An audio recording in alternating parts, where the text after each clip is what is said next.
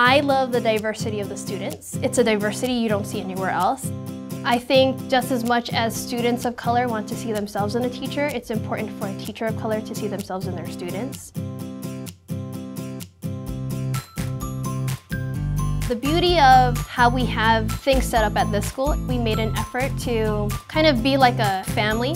The kids in first period will probably see each other in second period. And then on top of that, they share all the same core teachers.